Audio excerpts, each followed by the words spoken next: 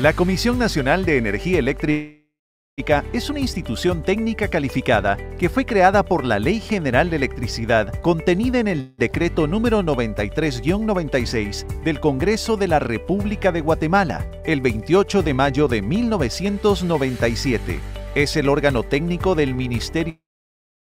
de Energía y Minas. Cuenta con independencia funcional para el ejercicio de sus atribuciones y es el regulador de las actividades de generación, transmisión, comercialización y distribución del subsector eléctrico en Guatemala. Su misión es velar por el cumplimiento de la Ley General del reglamento, regulando a favor de la eficiencia, estabilidad y sostenibilidad del subsector eléctrico en Guatemala mientras que su visión es liderar el desarrollo propiciando un ambiente de competencia, eficiencia e inversión bajo los más altos estándares de calidad mundial. Según el artículo 4 de la Ley General de Electricidad, sus funciones son a. cumplir y hacer cumplir la e imponer las sanciones a los infractores. B. Velar por el cumplimiento de las obligaciones de los adjudicatarios y concesionarios, proteger los derechos de los usuarios y prevenir conductas atentas. Definir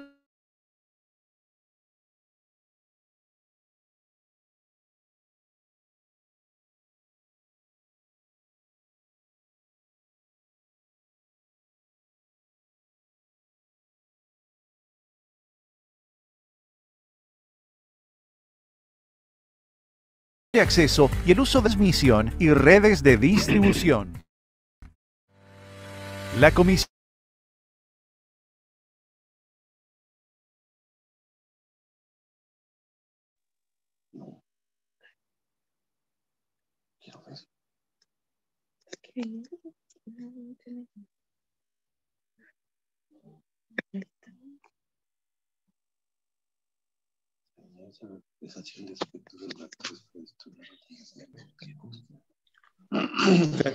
Aquí no me voy.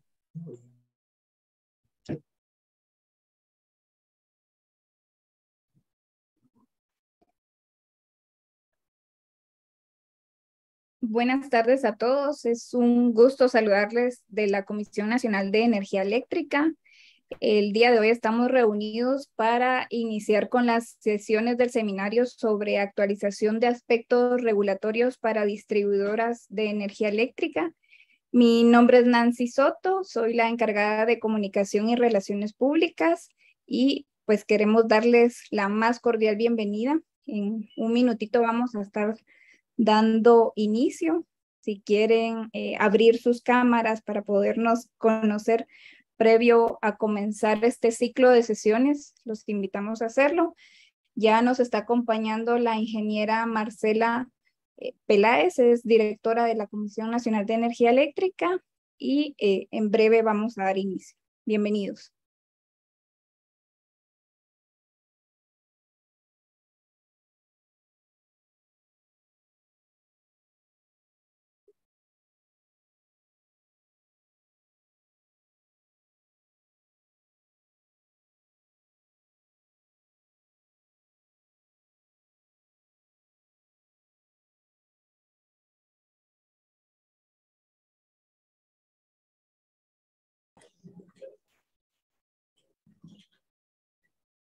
No ha entrado, ten.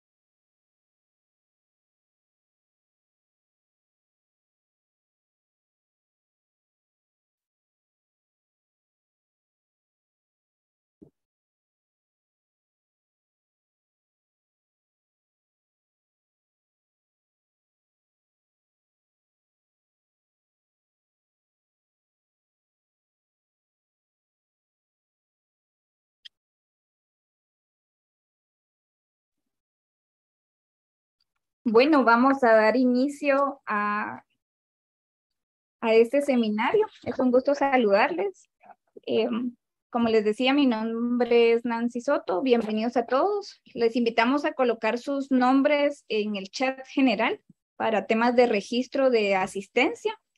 Em, quiero comentarles que el seminario nace eh, en dos sentidos. En parte, eh, se incluye dentro del programa de capacitaciones Edison, que es impulsado por la Comisión Nacional de Energía Eléctrica, el cual busca eh, proporcionar información a diferentes grupos de interés y eh, además por una serie de solicitudes de, las, de algunas empresas eléctricas municipales eh, interesadas en capacitarse y profundizar en algunos temas técnicos. Em, este seminario ha sido llamado sobre actualización de aspectos regulatorios para distribuidoras de energía eléctrica. Eh, se va a dar los días viernes a través de esta plataforma digital y de YouTube. Vamos a estar transmitiéndolo en vivo y además dejando las grabaciones eh, en el canal para que puedan consultarlas en, en, en otras oportunidades.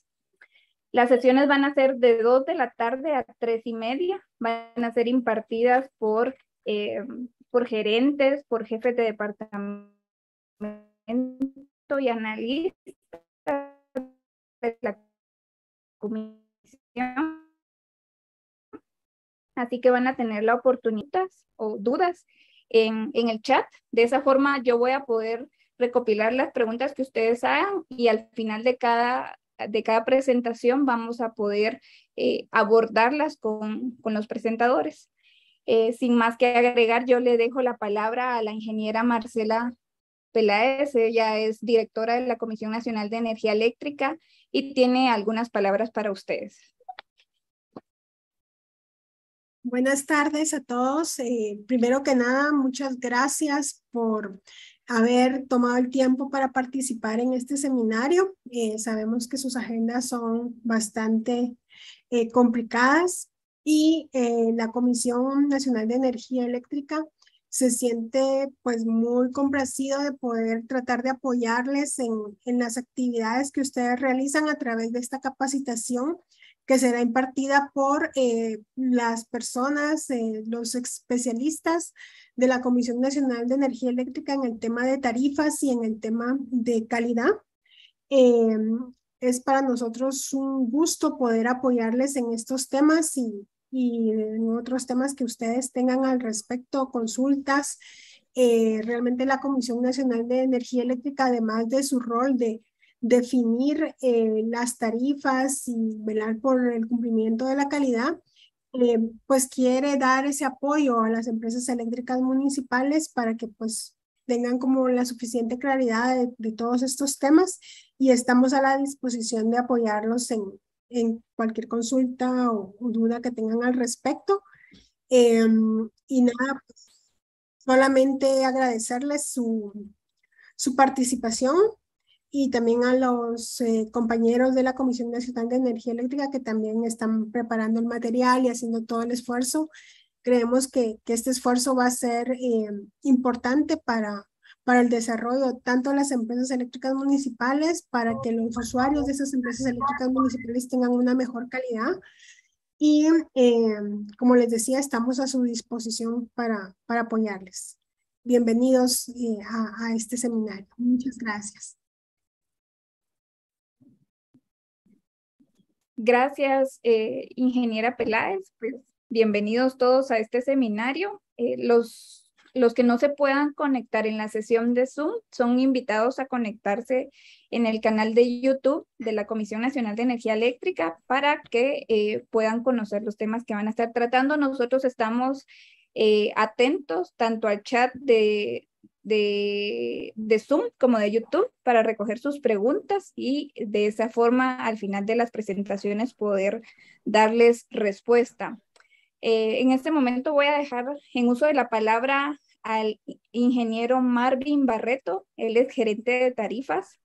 Eh, él, va, él tiene unas palabras para ustedes y además es el primer conferencista de las, eh, del ciclo de sesiones que vamos a estar teniendo. Así que, ingeniero Barreto, lo dejo en el uso de la palabra para que podamos eh, conocer un poquito más de las generales del seminario y eh, luego entrar ya de lleno a su presentación.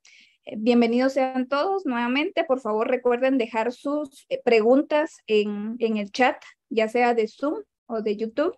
para poder atender sus consultas. Gracias. Muchas gracias, Nancy.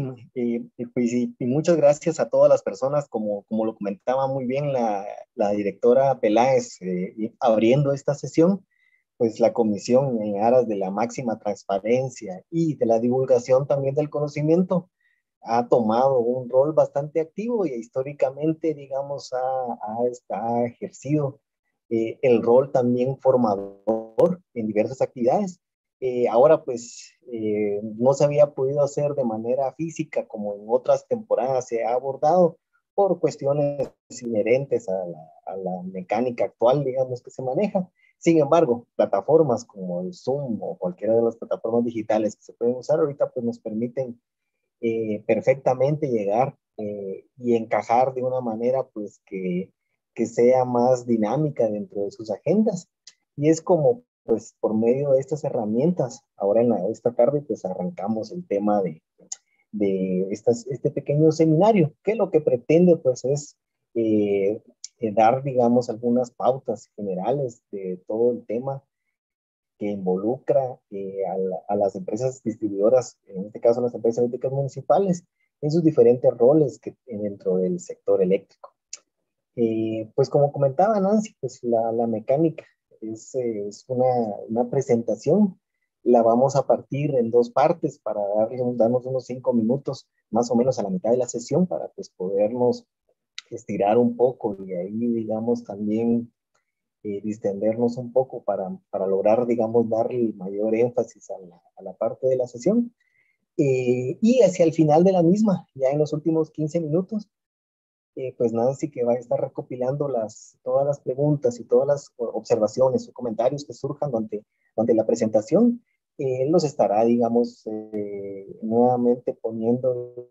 digamos, sobre la mesa para ir, ir tratando de responder de la mejor manera a todos y cada uno de sus planteamientos. pues ahí sí que sin más, yo creo que ya procederíamos ya con, con el primer tema, queremos abordar y es pues partir un poco de uno de los temas eh, relevantes, digamos, dentro del ejercicio, digamos, que tienen cada una de, ustedes, cada uno de ustedes como participante en una de las distribuidoras, y, es el tema de los costos que se trasladan a las tarifas de los usuarios regulados. Eh, vamos a ir un poquito, digamos, abordando como desde el génesis de dónde empieza esto para poderlo ir explicando eh, de una manera pues eh, lo, más, eh, lo más rápido posible, manteniendo digamos pues una, un, debido nivel de atención a los puntos que consideramos como medulares. un segundito.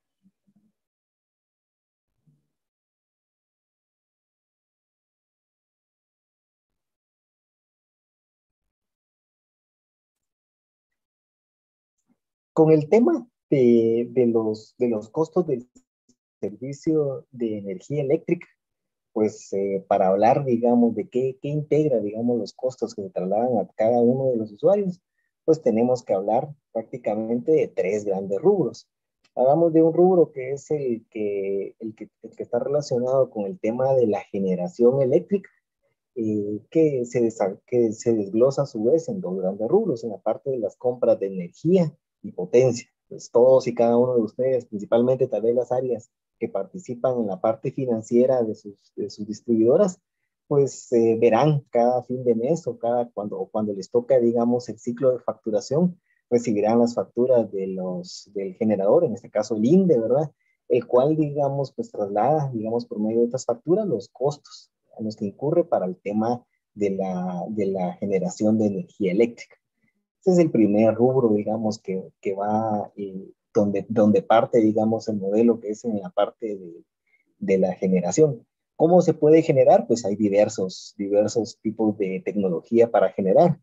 Tenemos desde los tipos de generación, eh, la hidroeléctrica, digamos, que lo, tenemos la, generadora pues más, una de las más grandes del país, que es Chixoy.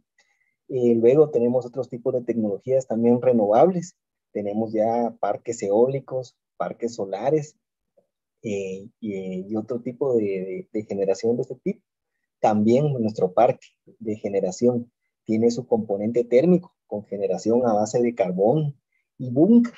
Y por medio de, de interconexiones con otros países, pues también tenemos lo que es la generación de, con gas natural por medio de otros, otros contratos que están fuera del país. Luego de pasar de la parte de generación propiamente, venimos a la parte de transporte. La parte de transporte engloba, digamos, todo lo que es, eh, todo, lo que es eh, eh, la parte de, la transmisión de los grandes bloques de energía que va desde, desde, las, desde las centrales de generación eh, hasta, eh, hasta, las, hasta la parte de la red de distribución, donde digamos ya la energía en otros niveles de voltaje, se, pues ahí sí que como, como dice la misma palabra, pues se distribuye digamos en estas redes para pues que pueda llegar finalmente hasta los usuarios finales.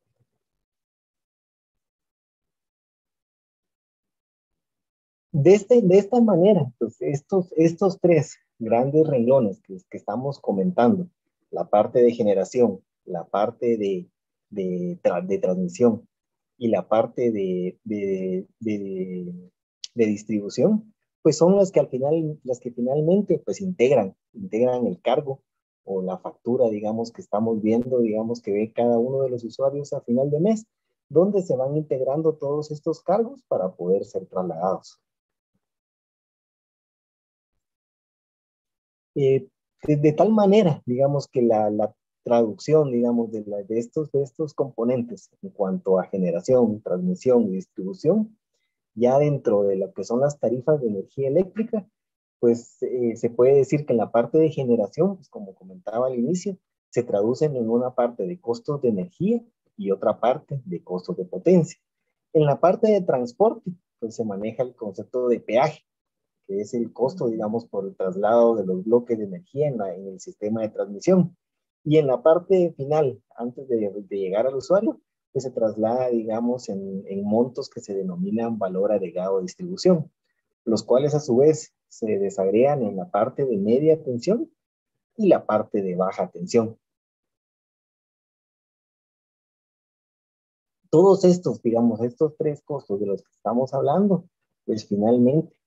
eh, se integran, digamos, en ya en, el componente final de la tarifa de energía eléctrica, que es realmente, pues, finalmente una ecuación matemática, la cual, eh, en función de una serie de variables eh, y factores, digamos, relacionados, digamos, con los patrones y características de los consumos, traslada los costos en los que se incurre para estas tres grandes actividades a las, a las facturas, digamos, que finalmente se trasladan a los usuarios. Eh, para hablar un poco de, de, todo el tema eh, tarifario, pues de entrada, uno de los temas que se debe abordar es la base legal, digamos, bajo la cual funciona, digamos, todo nuestro, todo, todo el esquema en primera instancia de los estudios tarifarios. Eh, los estudios tarifarios son, digamos, con base a la Ley General de Electricidad,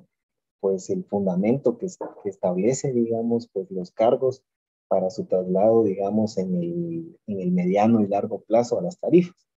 ¿Y qué es, lo que, qué es lo que persiguen? Pues, digamos, el cumplimiento estricto de todo el tema de la Ley General de Electricidad.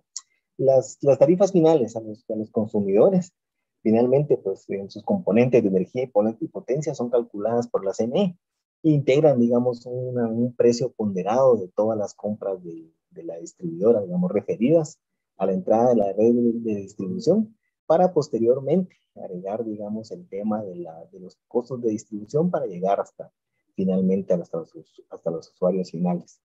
Eh, la CNE pues también gestiona y da seguimiento a todo el tema de los peajes y su transmisión que sean requeridos, digamos, finalmente para el traslado, porque, porque son, una vez se determina que son pertinentes, digamos, dentro de su aplicación. Señalar también que todos estos precios de adquisición de potencia y energía a la entrada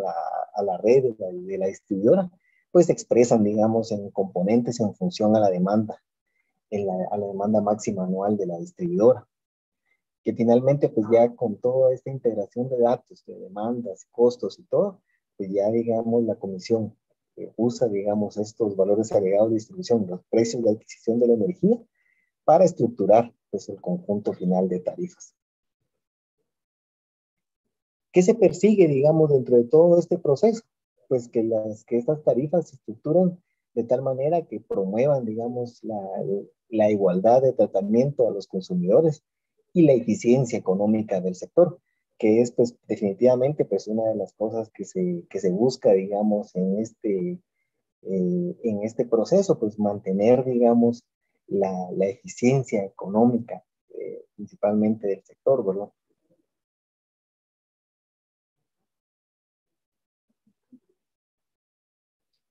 Para el tema de, la, estructura, digamos, de las tarifas, porque al final, digamos, pues cada uno de nosotros, que a la hora de poder ver nuestra factura, pues vemos que, somos agrupados en diferentes tipos de tarifas. Eh, esto obedece a que pues, se tiene que, la manera de desarrollar los costos de distribución y distribuir los costos de generación y transporte es por medio de agrupar, digamos, en los bloques de usuarios en diferentes grupos que compartan eh, cierto nivel de homogeneidad en sus hábitos de comportamiento, en sus patrones de consumo. Eh, estos patrones o hábitos de consumo eh, afectan, digamos, el modo en el cual propiamente la distribuidora presta el servicio. existen, pues, al final también una serie de condicionantes técnicas económicas en los sistemas de medición para determinar propiamente eh, para determinar propiamente las características de consumo de los usuarios. Eh, en función de las características de consumo, pues a cada una de las, de las categorías tarifarias se van asignando diferentes costos de generación, transmisión y, distribución de acuerdo a su desagregación. Para, para, empezar a ver, digamos, ya en la, en la práctica, después de haber partido de, de, los conceptos de qué es generación, qué es transmisión y qué es distribución, y los grandes, eh, que son los grandes rubros en los que se desglosa, pues yo creo que uno de los puntos eh, para poder entender ya cómo esto se, se materializa, digamos, en el traslado de las facturas, es ver cuál es la dinámica que tiene cada uno de estos costos. En este caso, digamos, los costos de generación son proyectados anualmente, pero tienen una mecánica que luego ya vamos a ver en detalle cuál es, eh, que lo revisa trimestralmente. Y esto obedece a la naturaleza de cada una de estas, de estas tecnologías. El tema de los costos de generación es uno de los temas más dinámicos que maneja el sector. Eh, pues tal como podemos, hemos podido constatar por medio de las noticias o diferentes medios de comunicación que, hemos, que podemos tener acceso, uno puede darse cuenta de que en los mercados internacionales eh, en el último periodo, pues tal vez hablaríamos de los últimos dos años, ha habido una gran volatilidad en el comportamiento de los costos de los combustibles. Asimismo, otros componentes como la generación hídrica siempre dependen de estacionalidad. Justamente en esta temporada, pues estamos en la época donde hay mayor generación hídrica, pero esta finalmente, pues estacionalmente va retrocediendo. Ya luego en los meses de febrero, marzo y ya luego en la parte de abril y mayo llegamos a la parte más seca. Esto, eh, toda esta dinámica de los costos de generación condicionan de que aunque se proyecten anualmente, pues la mecánica es de que se revisen de manera trimestral para no generar un desfase significativo entre los costos realmente, lo que realmente se incurren y los costos reales. La parte de transporte no tiene una mecánica tan, tan volátil. Esta se calcula cada dos años de manera bianual y simplemente se va revisando, digamos, de manera anual para irlo, eh, irlo indexando algunos eh, indicadores de referencia. Eh, es por el tipo de tecnología que vemos en la parte de la red de transporte, pues no tiene una dinámica tan, tan amplia como la otra parte. Tenemos también la parte de los costos de distribución, que también comparten con la parte de transporte el hecho de que, de que, su, de que su dinámica es, no es tan rápida para cambios, de tal manera que también se calcula de una manera eh, eh, para cinco años y se va revisando de manera semestral para irlo indexando y afectando algunos factores que le, que le van condicionando, digamos, en la aplicación de este cargo. Aquí en la presente gráfica podemos ver de manera pues, eh, pues más gráfica y esquemática lo que, lo que, les, estaba, lo que les estaba comentando, ¿verdad? Eh, en la parte de abajo vemos eh, lo, que, lo, que, lo que hacemos referencia. A si ustedes ven el bloque azul de la parte de, inferior, digamos, de la gráfica, ahí hablamos pues prácticamente de la, de la fijación de, para un periodo de cinco años eh, de un valor de unos costos de distribución. Este bloque, digamos, esto, esta parte, digamos, que, que veremos ahí, eh, eh, que vemos, no, lo podemos marcar aquí tal vez con, vamos, creo que ahorita lo pueden ver, digamos, en la parte inferior de la gráfica, es la que, la que va manejándose de una manera, pues,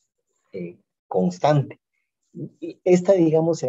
se ve afectada por actualizaciones semestrales que van generando una pequeña oscilación en la misma. Eh, posteriormente vemos otro bloque que también es lo que aparece en verde, eh, que este se interrumpe cada dos años y este corresponde a la parte de los costos de transporte. Vemos que hay un bloque superior a este,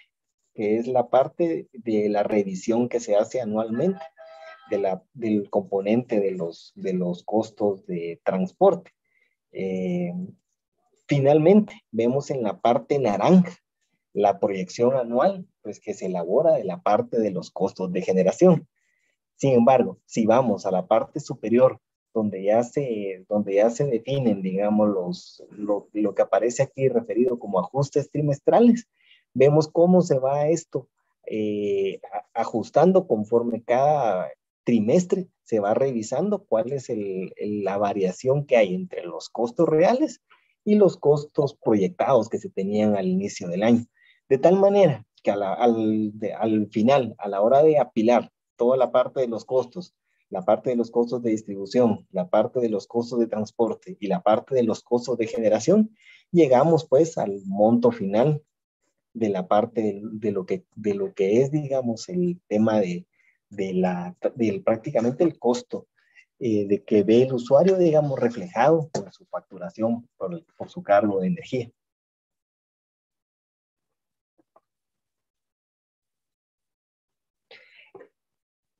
Como les comentaba, digamos, y como pudieron ver de manera gráfica en la, en la diapositiva anterior, eh, existen, digamos, dos, podemos decir que existen dos grandes, eh, dos grandes mecánicas para el tema del, del, cálculo tarifario. Una mecánica, nosotros la llamamos revisiones tarifarias, digamos, la cual es en esta, en esta dinámica se establecen valores fijos para un periodo pues más largo de tiempo, que en el caso, por ejemplo, del BAD es de cinco años y en el caso del, del costo de transporte es de dos años. Y la otra mecánica, que es, la, que es mucho más dinámica, es la parte de los ajustes tarifarios. Estos ajustes tarifarios pues se van haciendo de una manera que van afinando los valores que se van definiendo dentro de las revisiones tarifarias, los van perfeccionando al integrar la realidad de la integración de los costos e irlos, digamos, eh, eh, pues irlos ajustando de manera trimestral o semestral para ir trayendo a la realidad nuestra tarifa y que no exista ningún desfase significativo. Esto es, que no se traslade una tarifa más alta de la que se necesita si los costos reales en los que se está incurriendo son más bajos, o al revés, que no se traslade una, una tarifa más baja si existen costos reales más altos, lo cual podría generar pues, un problema en el mediano y largo plazo para el tema de la operación de, de cualquier, eh, de la parte de la industria eléctrica, en, su componente final, que es en la distribuidora, en los componentes pues, que van enlazados a la misma, que también eh, van trasladando sus costos por medio de la distribuidora. Y ahora digamos que está, justamente tocábamos el tema de la parte de la, de la distribuidora, pues habiendo, digamos, hablado un poquito de las generalidades de todo el tema de la integración de las tarifas de una manera, pues, mucho más general, quisiera, pues, ahorita pasar, digamos, como una antesala a hablar eh, de la parte de la, del cálculo, de la parte de distribución, de los componentes generales de la red de distribución. Eh, eh, ahí estamos claros de que, pues, todos ustedes participan en diferentes roles en la parte de, del negocio de la, de la distribución de las, eh, de las de estas distribuidoras de las empresas eléctricas municipales. Y están muy, muy, eh, eh, muy, muy actualizados, digamos, en cuanto al conocimiento técnico, que esto se requiere de tal manera, pues, que solo vamos a hablar de una manera bastante general y muy rápida para, pues, no, no, no redundar mucho en temas que ya manejan, pero que sin embargo consideramos que es interesante recapitular antes de hablar de los costos, hablar de los costos de, de, qué ítems nos referimos. La red de distribución, pues es prácticamente el negocio pues, donde, eh, donde ustedes están, ¿verdad? Eh, digamos, hay redes de distribución de diferentes densidades. Están las redes de distribución que atienden núcleos urbanos, donde la densidad de la carga es mucho más fuerte, digamos, donde también tenemos eh, la parte de que la distribución de calles y avenidas, que se denomina pues, coloquialmente como el manzanado, digamos, es bastante constante, que permite, digamos, definir eh, áreas de alta densidad. Y existen otras áreas, digamos, donde la densidad de usuarios, o sea, la cantidad de usuarios por, por área, por, por, la, por la densidad de área es pues relativamente baja y pues donde ya los ramales discurren por zonas donde hay mucho menos, mucho menos concentración de población, pero pues que sin embargo pues, eh, también se les presta el servicio eh, con otra, digamos, con, con, otro tipo u otro nivel de disposición de los equipos, ¿verdad? Si hablamos de la parte de distribución, pues como les digo, aquí vamos a tocarlo de manera muy, muy rápida, pues al final es un tema que todos ustedes manejan pues, pues bastante, con, con, con mucha propiedad pues hablaríamos de diferentes componentes, ¿verdad? Entre los componentes que hablamos, pues estamos hablando del primero, digamos, uno de los más visibles de la red distribución, que son las estructuras de soporte de la línea de distribución. Eh, normalmente, pues a los niveles de tensión de distribución, vamos a estar hablando eh, de postes de concreto o de madera, que es la gran mayoría, digamos, de las redes. Hay mucho menos participación de otros materiales, hay algunos postes metálicos que se han incorporado a la red, hay algunos otros incluso que son estructuras de retícula metálica, y hay nuevas tecnologías que vienen, digamos, como la fibra de vidrio, que está, digamos, incursionando ya en algunas otras latitudes y que eventualmente también llegará a formar parte de, nuestras redes. Estas estructuras pueden ser tanto autosoportadas, eh, que digamos, que son postes, digamos, que se soportan sin necesidad de retenidas, o pueden estar atirantados y soportados por, por medio de retenidas para poder eh, mantener, digamos, los esfuerzos mecánicos a las que es sometida. Los conductores, eh, pues aquí, digamos, si hablamos de la parte de los conductores, eh, hablaríamos de entrada de, de, los que componen las líneas aéreas. Los conductores, digamos, en general de las líneas aéreas, pues no tienen revestimientos, que son conductores desnudos, ¿verdad? pueden ser de diferentes materiales, todos en su mayoría pues tienen algún componente de aluminio, ya sea en aleación o ya sea en aluminio puro, ¿verdad? Y normalmente pues pueden ser reforzados con acero o con, o con, un, o con una aleación de aluminio reforzada propiamente. Esto en función de prácticamente las características eh, eh, geo, pues ahí sí también geofísicas, incluso de cómo se, cómo se cómo sea necesario, digamos, eh, pues generar los vanos por, las, por la topología, digamos, de los terrenos, va condicionando diferentes tipos de, de cable dependiendo de las aplicaciones a las que se usa. Luego tenemos también otro tipo de cable, ya los cables aislados, digamos, que ya pueden usarse para tramos subterráneos, ¿verdad? Con diferentes disposiciones y con diferentes materiales, ¿verdad? Eso también es otro tipo, digamos, de tecnología que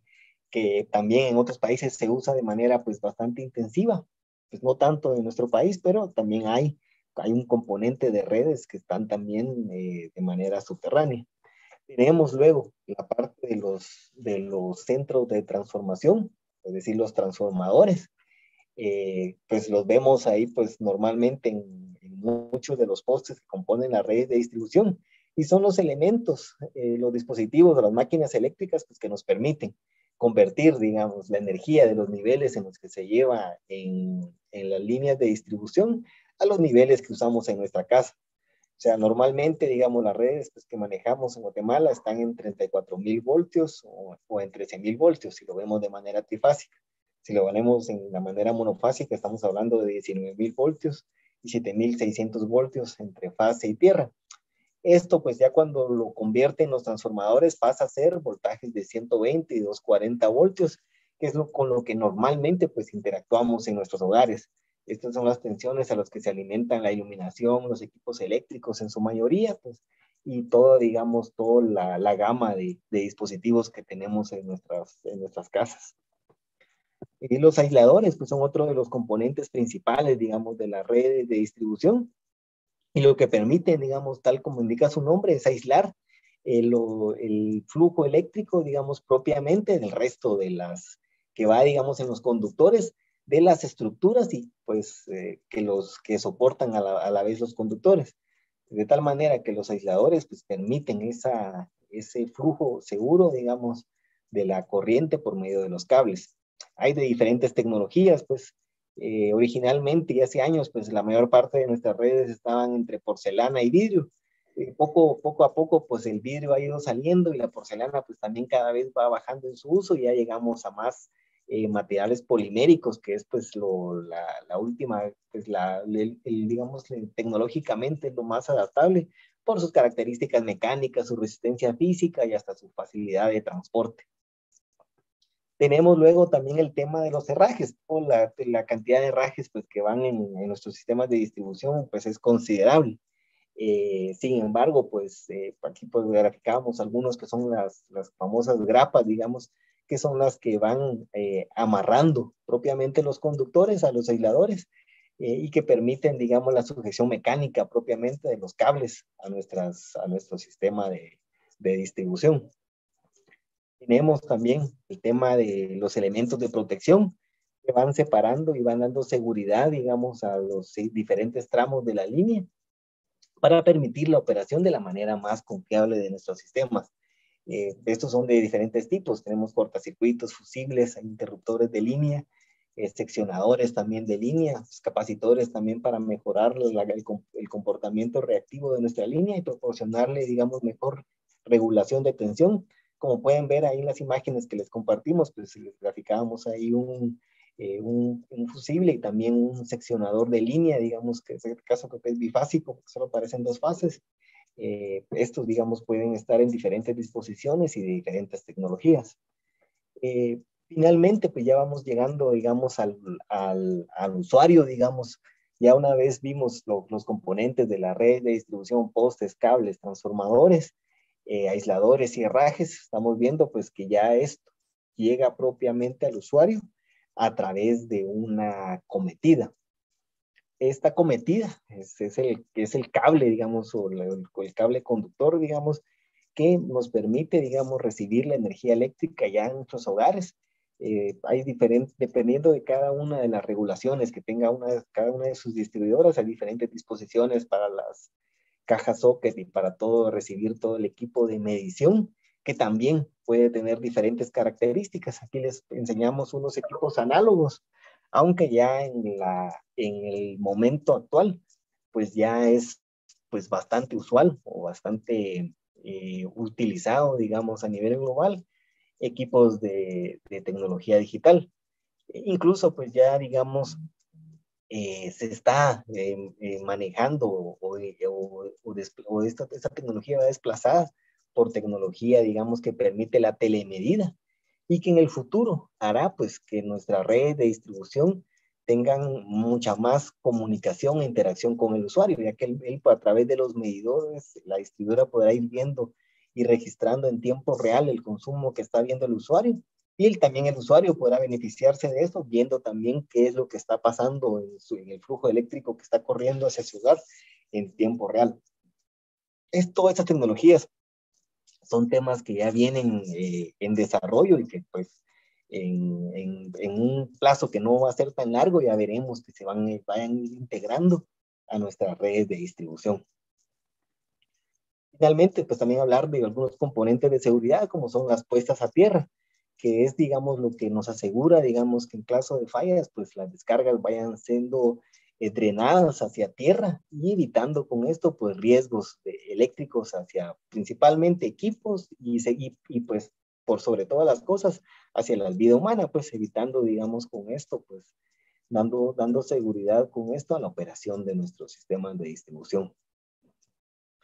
Eh, ya hablando de otra parte de los componentes, también hablaríamos de,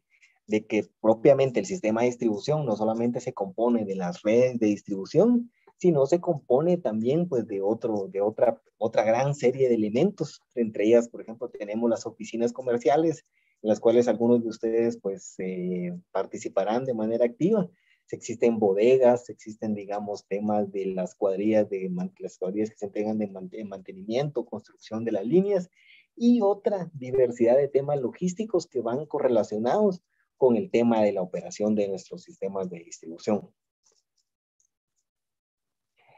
Eh, en este punto, yo creo que habiendo abordado pues, de, manera pues, bastante general, partiendo de cuáles son los componentes de los costos, eh, que, vemos reflejados en las tarifas. Y luego, haciendo un poco un, énfasis en la mecánica dinámica que llevan estos costos y viendo una de las actividades en la que ustedes participan, que es la parte de distribución, eh, pues llegamos creo que al punto donde, es donde queremos entrar en un poquito mayor detalle en lo que es la parte de los costos de distribución. Eh, ahorita viendo, digamos, el tiempo, pues para seguir la mecánica que veníamos hablando, pues eh, ahorita generaríamos el espacio de tiempo de unos, eh, unos cuatro o cinco minutos para pues dar un, dar un tiempecito para que pues podernos eh, estirar un poco ahí donde estemos y ya retomar la parte de los costos de distribución y posteriormente pues lo que les queremos presentar las generalidades porque son procesos bastante complejos y amplios del establecimiento de los mismos por medio de los estudios de valor agregado de distribución o el EVAD, que es como es conocido, digamos, en, la jerga del sector. Eh, pues ahorita pues daríamos pie a estos minutos para, para podernos eh, estirar ahí en cada uno de nuestros lugares.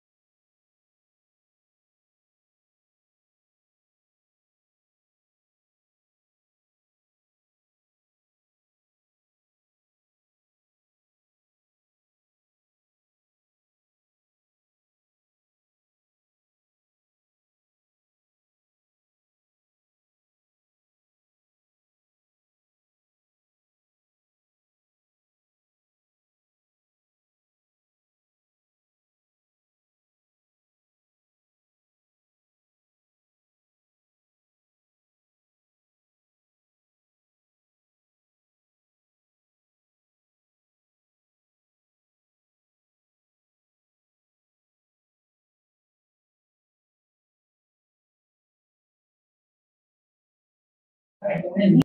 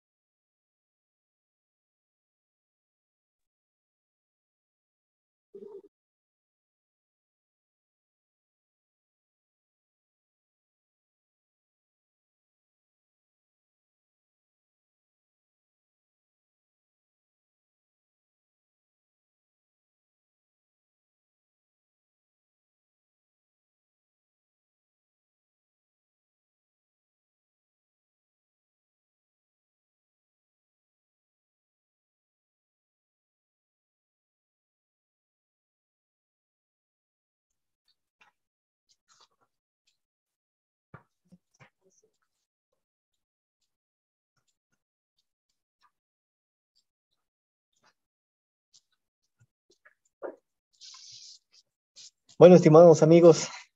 yo creo que ya podemos arrancar nuevamente con la segunda parte, digamos, de, de la temática que tenemos para, para esta sesión. Y es, digamos, la, y la siguiente parte, pues ya es, ya dejando de lado un poco toda la, la teoría, digamos, que hemos visto de, de, los grandes bloques en los que se compone, digamos, esa tarifa. Y eh, en particular, digamos, de una, una, revisión un poquito general, muy, muy rápida, digamos, de la parte del, de la distribución, entender, entender, o empezar a ver, digamos, cuál es la visión que tiene nuestra normativa de la parte de los costos de distribución. Pues nuestra normativa, en tanto la Ley General de Electricidad como su reglamento, que, que digamos, operativiza, digamos, lo establecido en la ley, ve ciertas características principales en los sistemas de distribución, las cuales son generales en su, en su gran mayoría a todos los sistemas de distribución del mundo. Eh, uno, de la, uno de los componentes fundamentales es el tema de los altos costos de inversión para la instalación. Eh, al final, pues cada uno de los componentes de los que estábamos hablando, postes, cables, transformadores, eh, aisladores, cerrajes, eh, todos y cada uno de ustedes que han estado relacionados con el, con el sector, pues se han podido dar cuenta, digamos, de que tienen precios considerables y que incluso, digamos, si hablamos ya de, la, de las dinámicas ya recientes, están sometidos, digamos, a, a presiones por, por, componentes de precios internacionales que generan, pues, que, que los mismos también vayan normalmente deslizándose hacia arriba. Eh, sus periodos para la recuperación de la inversión también son amplios, porque la vida útil de esas instalaciones también se puede asumir que es una vida muy, larga. En general, por ejemplo, pues, las instalaciones de distribución eh, que, se operan en el país, pues que uno puede darse cuenta de que pues tienen en, en buena parte la misma ya muchos años de haber sido instalada. Eh, si hablamos de la parte de precios, pues uno de los componentes también, que tiene esto es que por, eh, por definición, digamos, la parte de la distribución de energía eléctrica tiende a ser un monopolio natural, ya que pues en general, digamos, eh, la, la, mecánica del negocio de la distribución y la existencia de por sí de red de distribución no, no, no tiene, digamos, eh, eh, una modalidad donde se, le, donde se pueda dar en general o en, de manera amplia una competencia entre, entre una distribuidora, digamos, y otra, digamos, a la par.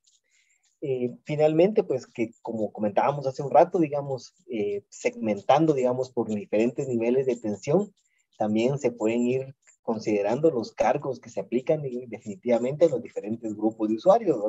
Hay usuarios que solo usan la red de media tensión, son usuarios, digamos, eh, que están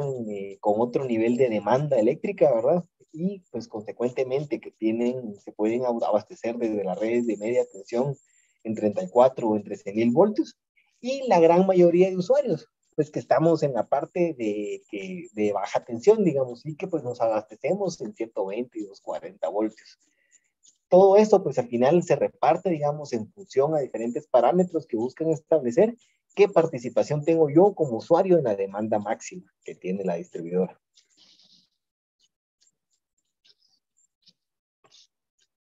Desde el punto de vista legal, pues el, tema de, las, de una de las funciones esenciales que como comentaban eh, en el video institucional que se les mostraba al inicio de la presentación es el tema de que una de las funciones de la comisión es definir las tarifas de transmisión y distribución, efectuando todo el análisis técnico pertinente por medio de los estudios de valor agregado de distribución. Eh, buscando eh, dentro de todo pues nuestro modelo, eh, establecer digamos los costos asociados al usuario, pérdidas medias también de distribución, costos de capital, operación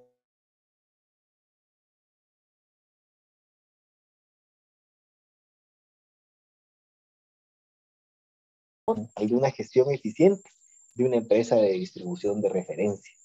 Y ese, y ese concepto es el que vamos a ahondar ahorita un poquito más adelante. Eh, pues como les comentaba, digamos, dentro de nuestro marco legal, pues se establece que la, que la parte de la determinación de los costos de distribución va, va comprendida en estos tres grandes rubros, ¿verdad? Los costos asociados al usuario por la prestación del servicio, pérdidas medias eh, que se establecen para la, para la industria de distribución. Al final, digamos, la operación de estas redes por, por su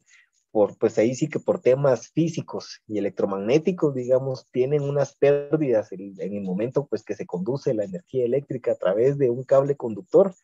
Esto es inherente y es un fenómeno físico inherente a la tecnología que usemos, ¿verdad? Y pues que se puede ir reduciendo o ampliando, pues si no se le da debida, debida secuencia, pero pues que existe en nuestras redes. Y finalmente tenemos también el tema de los costos, de tanto la parte de capital como la parte de operación y mantenimiento propiamente de las redes. La metodología para el cálculo de las tarifas eh, va variando, digamos, en función de, cada uno de los países. Eh, ya hace años, ya estamos hablando de hace más de 30 años, hubo una, una ola, digamos, donde pues a nivel mundial y particularmente en el área latinoamericana, se empezó a revisar el tema de la prestación del servicio de energía eléctrica. Eh, históricamente, pues antes de ese periodo, pues la gran mayoría de nuestros países, digamos, manejaban esto de manera estatal, de tal manera, pues que era el Estado el que se encargaba de proveer este servicio. En el momento, pues que se definió que, digamos, que la función del Estado, pues no, no era una de las esenciales la prestación del servicio de energía eléctrica, sino fomentar las condiciones para que se pudiera dar este servicio en condiciones eh, eh, buenas y razonables, ¿verdad? Se establecieron muchas metodologías. Ahí pues existen, digamos, un, un grupo de, metodologías que se fueron abordando o, incluso se han ido alternando en diferentes países para ir pudiendo hacer este reconocimiento. Para el caso de Guatemala, pues en particular, digamos, aquí lo que se ha asumido es un tema, es un modelo que busca una, una simulación de competencia a través de diseñar una empresa de, de, referencia, digamos, para definir el precio del servicio, ¿verdad? Y este, digamos, es el marco legal donde funciona, digamos, nuestro, eh, donde, donde funciona, digamos, nuestro cálculo y metodología para poder llegar al desarrollo de estos, de estos cargos, ¿verdad? ¿Qué es lo que persigue, digamos, como eh, nuestro modelo? Pues nuestro modelo al final lo, lo que persigue, digamos, es eh, primero, pues, establecer, digamos, cuáles son los usuarios a los que tenemos que prestar el servicio y cuáles van a ser, digamos, los, los consumos o los consumos energéticos, los kilovatios hora y los kilovatios de demanda de los cuales tenemos que abastecerlos. Y en otra parte, pues establecer cuál es el valor de las instalaciones óptimas de referencia, llamemos red de distribución y todo el tema incluso también de las oficinas comerciales y toda la parte de atención que es requerida para la prestación del servicio. Eh, ya estas dos cosas, digamos, se plasman propiamente en lo que es la, empresa eficiente, que esa es una empresa que existe, digamos, que es modelada, digamos, de acuerdo a diferente cantidad, a diferente tipo de modelos para poder establecer cómo se puede llegar o cómo se puede prestar el servicio a un, presto, a un precio eficiente de referencia. Y ese es, pues, la determinación de las tarifas de distribución, pues, conocida como valor agregado de distribución. El estudio de valor agregado de distribución es un estudio bastante, bastante eh, amplio y extenso en su contenido, eh, y por lo cual se divide en una serie de etapas que nos permiten ir determinando eh, el, e ir respondiendo prácticamente a los postulados que veíamos antes. En general, todas esas etapas lo que buscan ir terminando es las dos preguntas que nos consumos de los usuarios a los que debo atender y cuál es el valor de las instalaciones óptimas de referencia para prestar el servicio de la distribuidora. Esas dos grandes preguntas convergen, digamos, en un modelo teórico que es la, la red eficiente de referencia, que es la que nuestro modelo reconoce dentro de los costos de distribución que se trasladan a los usuarios. Y para responder esa pregunta, pues el estudio arranca con la parte de cuántos somos y qué consumimos. ¿Qué, ¿Qué, tomamos como información básica para poder hacer eso? Pues no, no es más, digamos, que la información primero, la histórica, digamos, que se va liquidando. Eh, al final, pues ya después de prácticamente 25 años de operación del modelo, ya se ha tenido en nuestro país una serie de datos históricos en cuanto a consumo de energía, potencias registradas, cantidad de usuarios, y se, y se puede, digamos, desarrollar series históricas amplias que, que por medio de, de modelos estadísticos, eh, pues de complejidad pues considerable puedan ir prediciendo, digamos, en el, para cada siguiente quinquenio, porque pues como, como eh, tocamos en algún momento el proceso este de revisión de los costos de, distribución es de cinco años, ¿verdad? O sea, se fijan tarifas para un horizonte de cinco años. Si ahorita fijamos tarifas en, para el, próximo año, en 2023, de la parte de distribución, estas van a estar vigentes hasta el 2028. Entonces aquí, digamos, se utilizan una serie de modelos eh, econométricos, autorregresivos y analíticos para, por medio de la estadística, buscar la, dentro de los mínimos márgenes de error, hacer la predicción más fina que se puede hacer de cómo se va a ir comportando la demanda eléctrica en este periodo de tiempo. Al final, cinco años es un periodo considerable y, y una situación, por ejemplo, como la del COVID, que se, se acaba de vivir a nivel mundial, pues nos da la pauta de que aún el mejor modelo puede tener, digamos, alguna, eh, alguna contingencia que aleja los valores de los valores históricos. ¿Qué pasó durante el 2020? Pues el hecho de parar, digamos, el país, y esto fue a nivel mundial, no, no fue a nivel pues, solo de Guatemala, ¿verdad? El hecho de parar, digamos, todo el tema de comercio y buena parte de la industria por periodos largos de tiempo, pues generó una contracción de la demanda eléctrica que no estaba esperada. Obviamente hubo una contrapartida porque hubo mayor consumo en los hogares porque estuvimos pues eh, prácticamente, podría decirse que recluidos en los mismos durante un periodo de tiempo más grande del que normalmente nos mantenemos. Sin embargo, pues en cargas fuertes como la parte comercial, pues se apagó prácticamente, eh, logrando pues una, una variación pues bastante significativa con lo que históricamente se había mantenido,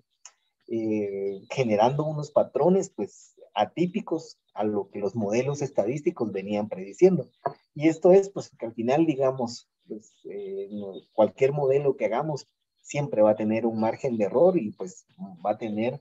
eh, algunos potenciales componentes que lo pueden dinamizar y mover, digamos, de, de las proyecciones. Eh, de tal manera, pues, que lo que se busca en esta etapa es hacer, eh, un,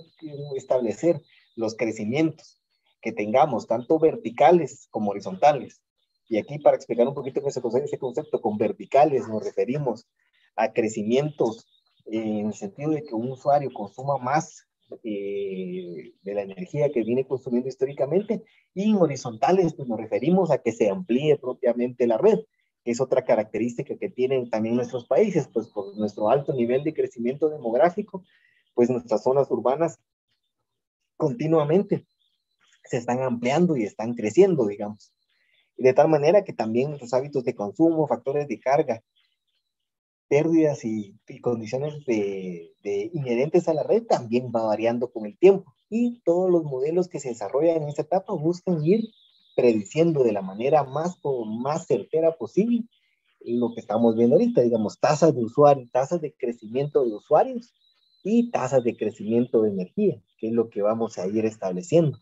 Desagregados, tal como comentamos, en tasas de crecimiento horizontal y vertical,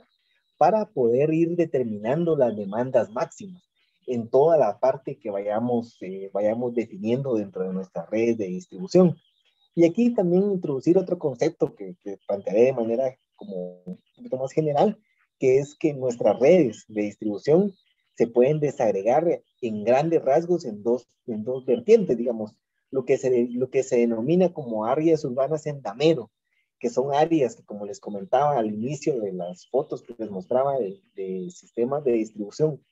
son áreas que están eh, reticuladas, donde los manzanados son regulares y podemos ver pues que se forman, eh, se conforman eh,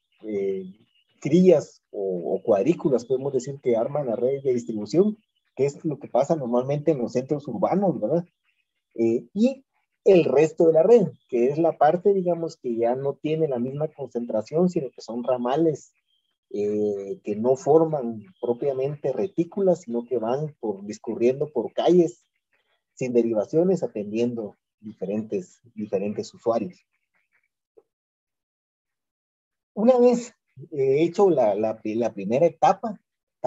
no podemos pues, desatendernos de la otra parte, del, del, otro componente del que hablábamos al principio de, de, de, la de la presentación en cuanto al tema del estudio del BAN, que es no solo determinar cuántos usuarios son atendidos y sus consumos, sino establecer los valores de las instalaciones óptimas de referencia. Y esto pues es una labor pues realmente bastante, bastante pues dinámica poder establecer cuáles son, digamos, todo lo que, lo que componen nuestras, nuestras redes de distribución, ya que nuestras redes de distribución pues se van componiendo una serie de materiales y equipos, ¿verdad?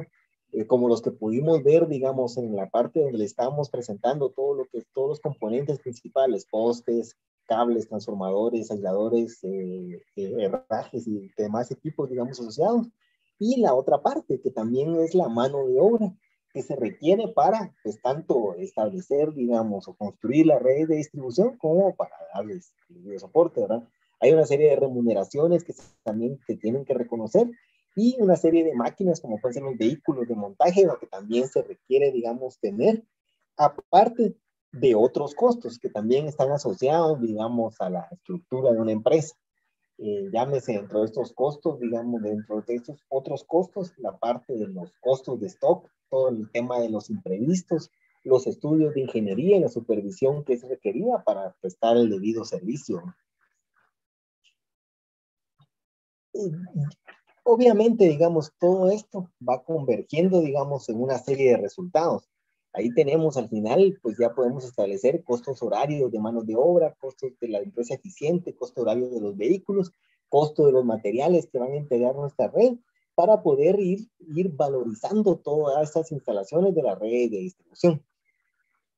La siguiente etapa que tenemos es, pues ya hemos establecido una serie de costos eficientes eh, de nuestros componentes. Hemos logrado establecer eh, de que el costo de un poste de 10-60 metros de clase 500 NAN es, tal, ¿verdad? Y que el costo de un transformador autoprotegido de 25 kVA es tal, pero luego viene el momento pues de optimizar la red de la distribuidora porque como vimos en nuestro modelo, no es contable, sino que busca la comparación con una red eficiente de referencia. Pues para poder establecer esta red eficiente de referencia, es que los estudios en esta parte o en esta etapa C de los mismos vienen en la fase de optimizar la red de la distribuidora para poder establecer, digamos, eh, bajo las condiciones que cada una tenga, porque pues cada una de las distribuidoras tiene una determinada densidad de carga. Definitivamente, pues las áreas urbanas que, por ejemplo, están asociadas a una ciudad como Quetzaltenango, eh, con, con, una cantidad de población como la que tiene y con una densidad de, de los habitantes como la que tiene, es definitivamente pues diferente, por ejemplo, a la que se encuentra, digamos, en el área de la, de la autorización de la empresa eléctrica municipal de Joyabaj, pues que definitivamente su densidad de carga es diferente porque no, no tiene, digamos, la misma densidad en cuanto a los usuarios que están ubicados. Existe dentro de, eh, dentro de nuestro país, que principalmente también tiene entre sus componentes una geografía que es básicamente quebrada, eh, lo que genera pues que, que muchos de, no, sean, no sea tan frecuente que haya núcleos urbanos tan grandes, sino que a veces pues están relativamente atomizados. De tal manera que, que a la hora de ir viendo las particularidades de cada una de las densidades de carga de cada una de las zonas de autorización de las distribuidoras, que definitivamente son diferentes, pues también, por ejemplo, en el caso tal vez más claro, por ejemplo, en la área de, de autorización de empresa eléctrica de Guatemala, que tiene una densidad altísima, si la comparamos, por ejemplo, con la distribuidora de electricidad de Occidente, que tiene una, una densidad, pues, que está justamente en el otro extremo. Una vez se hace, digamos, se conoce, digamos, los, los precios de los materiales y todos los precios de los componentes de mano de obra y todo, se puede llegar a optimizar esta red de la distribuidora y también pues a calcular su valor, eh, su valor anual. De tal manera que el, prácticamente el estudio de costos permite pues hacer esta optimización de la tecnología, considerando pues las diferentes topologías que tenemos y la tipología que tenemos de todos los diferentes tamaños, calibres y configuraciones, que finalmente pues no todas las redes necesitan, por ejemplo, un cable, eh, un 477 o un 40, sino que alguna parte de nuestras redes puede tener, estar eficientemente dentro de los límites de calidad que se necesita operando con un conductor un cero eh, y, no necesitar propiamente un 3 ceros o un 4 ceros, ¿verdad? Eh, de tal manera que una vez hecho todo este ejercicio amplio de, de optimización de tecnología eh, en función de buscar cuáles son los conductores, estructuras, aisladores, transformadores, a los cuales se establecen sus precios de referencia óptimos, eh, se hace la optimización de la topología, la optimización de la tipología y se llega finalmente a una configuración de una red. Eh, esta configuración de la red multiplicada, digamos, por los costos unitarios de la red van generando un concepto que se denomina valor nuevo de reemplazo, que es el concepto de la empresa de referencia. ¿Cuánto, digamos, costaría a una empresa de referencia tener una operación de distribución como la que se tiene en, esta área en particular. Y ese, digamos, es el objetivo de toda esta fase, poder establecer ese valor nuevo de reemplazo de esa red propiamente. Y luego, ya por medio de, de un factor de recuperación de capital, ya poderlo traducir en una anualidad del valor nuevo de reemplazo, que es lo que yo tengo que ir, la distribuidora tiene que ir recuperando para poder hacer su operación sustentable económicamente en el tiempo y viable a largo plazo. Que esa es prácticamente una de las esencias del modelo, pues que la operación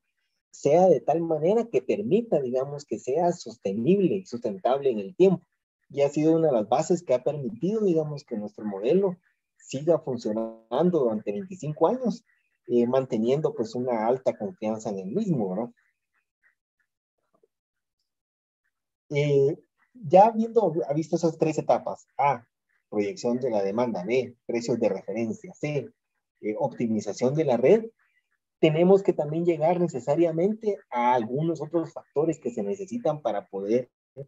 hacer más exacto nuestro,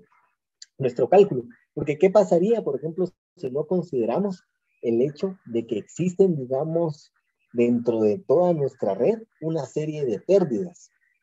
Las cuales a su vez se dividen en un componente de pérdidas técnicas y un componente de pérdidas no técnicas. Estas pérdidas que son inherentes al, al, a los modelos, digamos, tecnológicos que tenemos, tienen que tener una, una representación dentro de nuestro modelo, porque al final, eh, ustedes como prestadores de un servicio de distribución, al final del mes, dentro del mismo van a ver que necesariamente alguna parte, digamos, del, de su producto, que es la energía eléctrica en kilovatios hora, se tiene que consumir como calor en, el, en las, en en, por efecto Joule, digamos, en las pérdidas que tienen en los cables conductores. Esa es una situación que pasa en cualquier modelo que tengamos. Así se haya optimizado este, al nivel que se haya optimizado, nuestras redes pues tendrán un nivel de, de eficiencia de referencia bajo el cual va a tener un nivel de pérdidas que se traducen en unos factores de expansión de pérdidas, los cuales pues ahí sí que representan, digamos, eh, cuáles son lo, razonable dentro de nuestro modelo eficiente que se, que se pierda, digamos, como parte de nuestra operación. Este, este componente tiene, tiene su implicación luego en establecer en responder, digamos, ya de una manera más técnica la pregunta de, cuál, de cuántos somos, ¿verdad? O sea, cuando hablamos de cuántos somos y una cantidad de energía, esto necesariamente al final se tiene que hacer.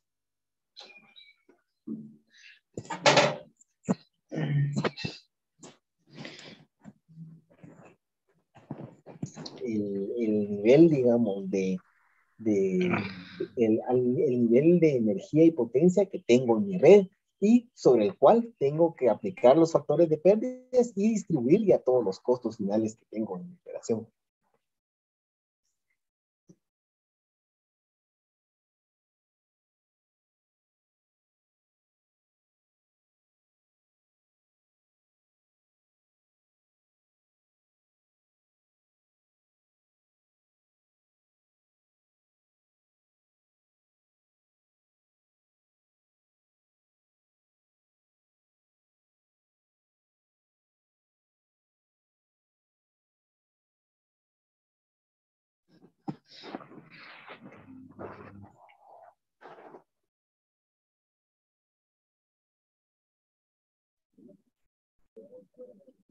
Perdimos por un momento al ingeniero Barreto. Por favor, permítanos un momento para que él pueda recuperar su conexión.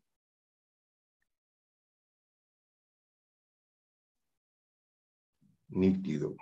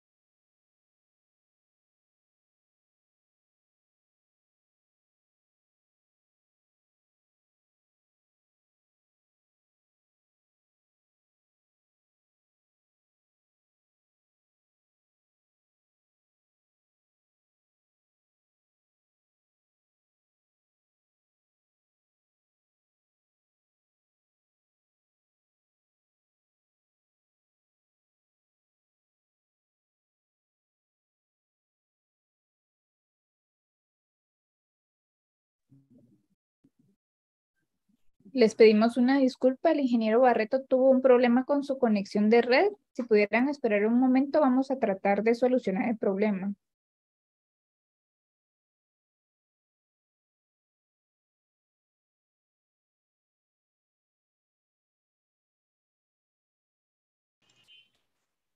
Me disculpas, tuvimos un problemita, ahorita ya nos incorporamos nuevamente.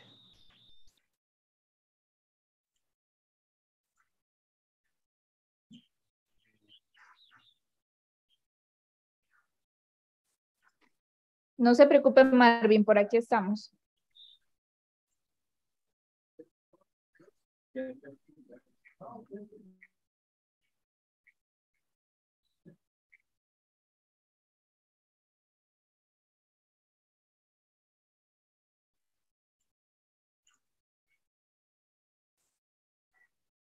Perfecto, disculpen, ya, ya, ya restablecimos aquí el servicio.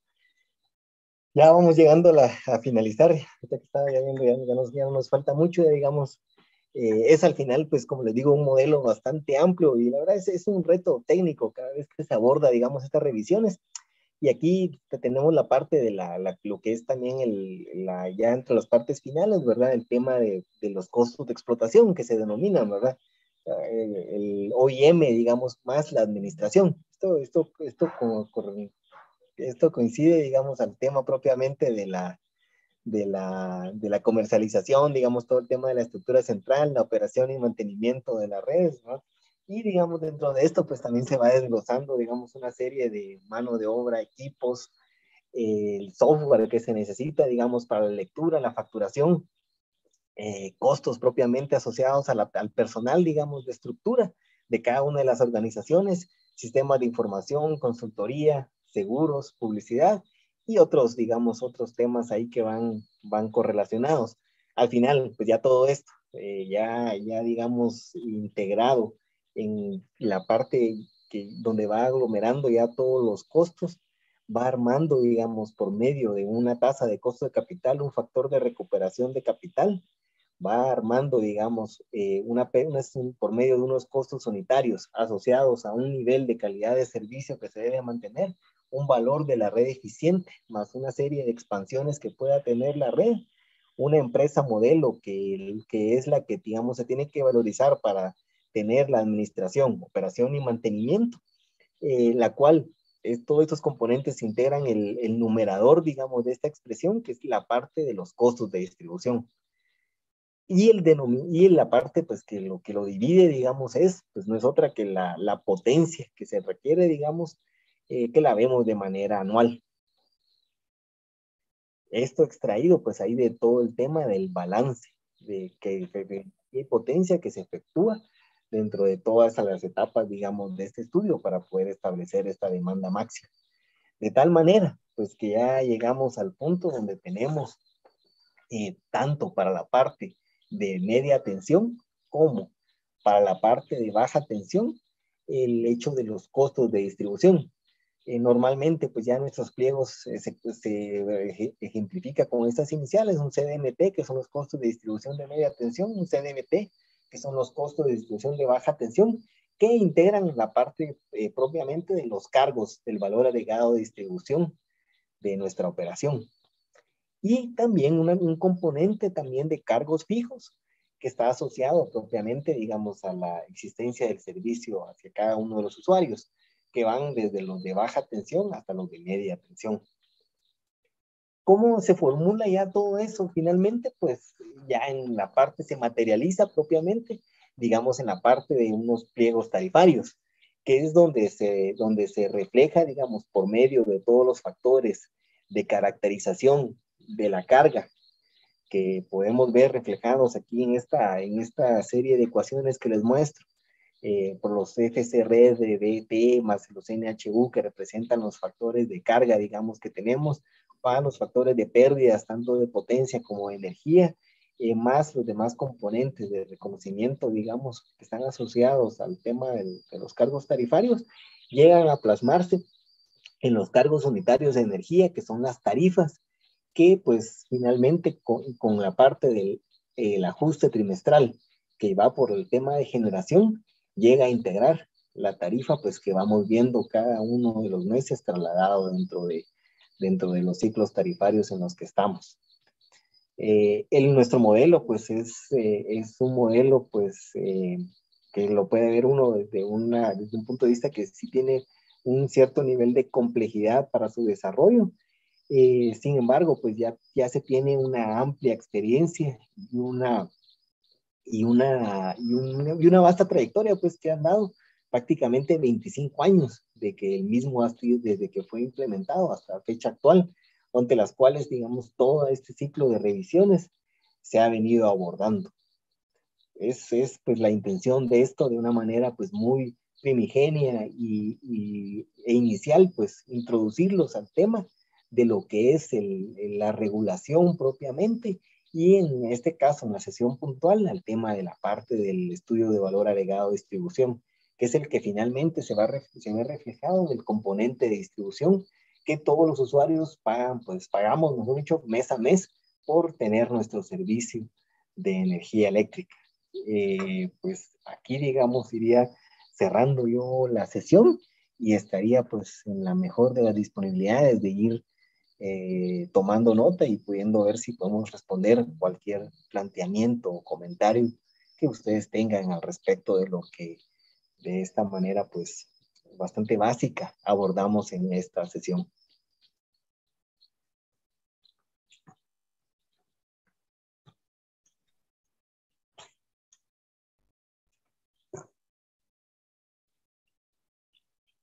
Gracias al ingeniero Marvin Barreto por su presentación.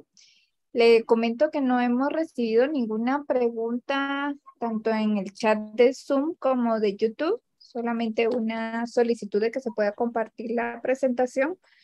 por lo que se le ha pedido a la persona que me envió un correo electrónico para dar seguimiento. Si alguien tuviera alguna pregunta, los invito a que puedan colocarla en el chat y de esa forma se la voy a trasladar al ingeniero Barreto para que nos dé respuesta.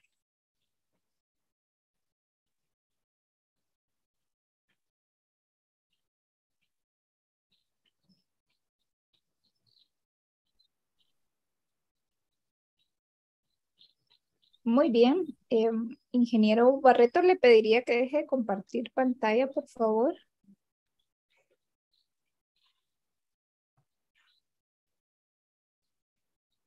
Bueno, en vista de que no tenemos preguntas, queremos agradecer su participación a, este, esta sesión inicial. Eh, son todos cordialmente invitados a continuar participando en las sesiones eh, del seminario de actualización de, eh, de información para distribuidoras de energía eléctrica. las sesiones van a ser los días viernes a partir de las 2 de la tarde pueden conectarse en el link de Zoom que se les hizo llegar por correo electrónico o a la plataforma digital de YouTube para conocer eh, ya sea las grabaciones o las transmisiones en vivo que vamos a estar haciendo. Estamos a las órdenes para cualquier duda o consulta. Es un gusto eh, poder reunirnos con ustedes. Les deseo una buena tarde y un buen fin de semana. Ingeniero, si usted quiere, quiere despedirse, está abierto el micrófono. Muchas gracias, Benzi. No, muchas gracias a todos. Gracias por, por su atención. Eh, infinitamente agradecido. Pues,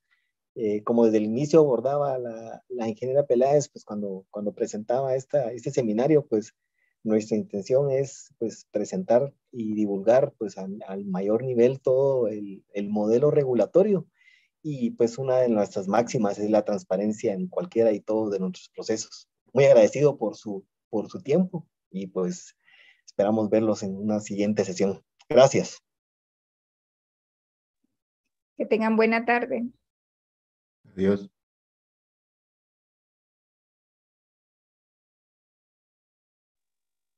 Eh, muchas gracias ahí por la participación. Eh, tengan feliz tarde a todos. Empresa Eléctrica Municipal de Canapa. Muy buena tarde.